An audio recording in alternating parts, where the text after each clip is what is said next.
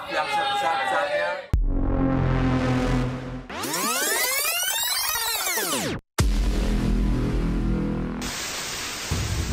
Di tahun 2016, mudik lebaran yang seharusnya menjadi hari bahagia berubah menjadi nestapa.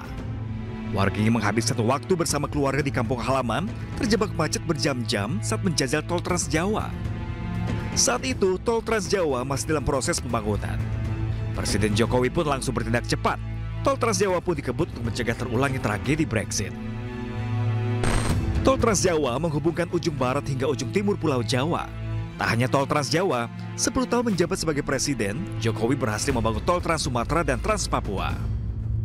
Presiden Jokowi pun menyempatkan diri menjajah langsung jalan Trans Papua dengan menggunakan motor trail miliknya. Jalan Trans Papua menghubungkan wilayah di Papua dan Papua Barat.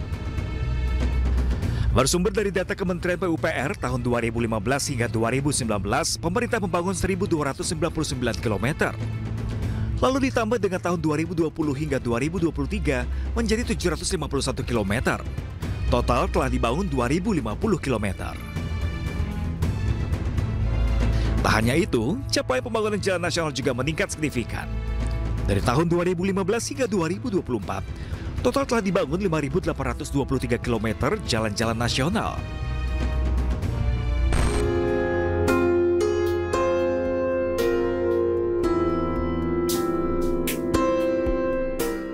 Pandemi COVID-19 menjadi krisis global tak terduga bagi pemerintahan Jokowi. Puncaknya pada tahun 2021, di mana kasus harian COVID mencapai lebih dari 56 ribu kasus. Berdasarkan data dari WHO pada Maret 2022, sebanyak hampir 200 ribu penduduk Indonesia meninggal dunia karena COVID-19. Wisma Atlet menjadi saksi mata betapa banyaknya warga meninggal karena COVID-19. Namun, bantuan dari berbagai pihak khususnya pemerintah Indonesia banyak membantu warga menghadapi pandemi COVID-19. Bahkan WHO menyebut penanganan COVID-19 di Indonesia terbaik dibandingkan dengan negara di Asia lainnya.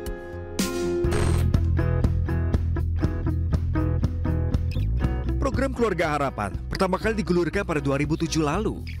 Bersama dengan bantuan langsung tunai, kartu prakerja serta program subsidi lainnya, dianggap berhasil membantu masyarakat berpenghasilan rendah untuk bertahan hidup.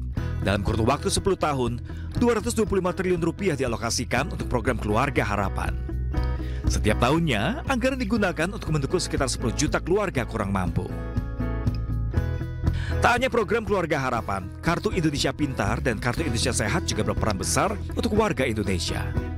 Program Kartu Indonesia Sehat atau KIS dikelola oleh Badan Penyelenggara Jaminan Nasional atau BPJS Kesehatan. Dengan KIS, masyarakat bisa menikmati berbagai layanan kesehatan secara gratis dan mudah.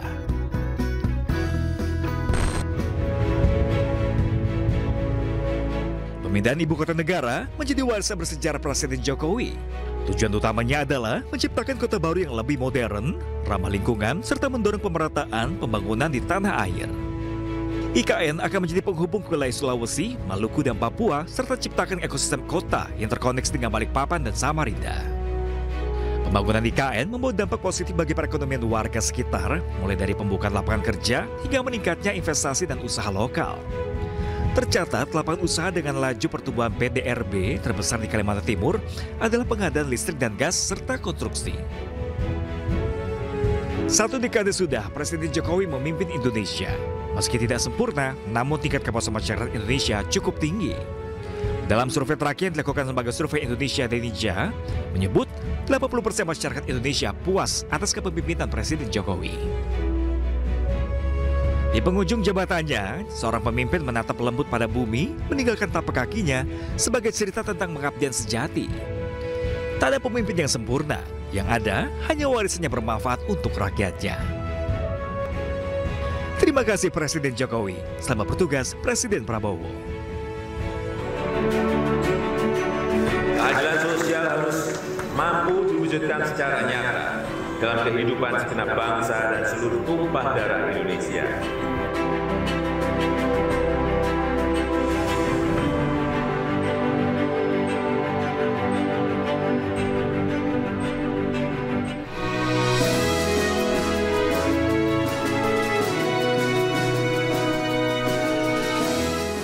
Selama menjabat sebagai Wakil Presiden Republik Indonesia periode 2019-2024, Maruf Amin memiliki kontribusi dan kinerja positif, terutama di bidang ekonomi syariah, pemberdayaan UMKM, dan toleransi. Maruf Amin mendapatkan gelar Bapak Ekonomi Syariah dari Universitas Islam Negeri Araniri Aceh. Maruf menyebut ekonomi dan keuangan syariah di Indonesia berkembang pesat. Hal ini terlihat dari bervariasinya produk keuangan berbasis syariah yang bisa dinikmati masyarakat. Mulai dari obligasi syariah, asuransi syariah hingga pembiayaan usaha berbasis syariah. Ke depannya, Maruf Amin berharap ekonomi dan keuangan syariah di Indonesia terus meningkat. Sebab potensi yang besar dari ekonomi syariah dapat menjadi pilar penting dalam mempercepat pertumbuhan ekonomi Indonesia. Maruf juga mengungkapkan harapannya agar pemerintah yang baru dapat melanjutkan program-program pembangunan yang telah dijalankan oleh pemerintah saat ini. Harapannya agar manfaat program dapat dirasakan masyarakat luas. Kita berharap bahwa pemerintah yang akan datang itu kan tidak mulai dari awal. Apalagi uh, semboyannya Pak Prabowo itu kan melanjutkan. Jadi melanjutkan itu kan sudah ada tonggak-tonggak yang sudah dibangun, ya ekonominya, infrastrukturnya, kemudian sumber daya manusianya. Saya kira dengan dengan kita mau melakukan sesuatu lompatan baru, ya ini ini apa namanya itu uh, milestone-nya sudah ada. Apa namanya itu tonggak-tonggaknya sudah ada.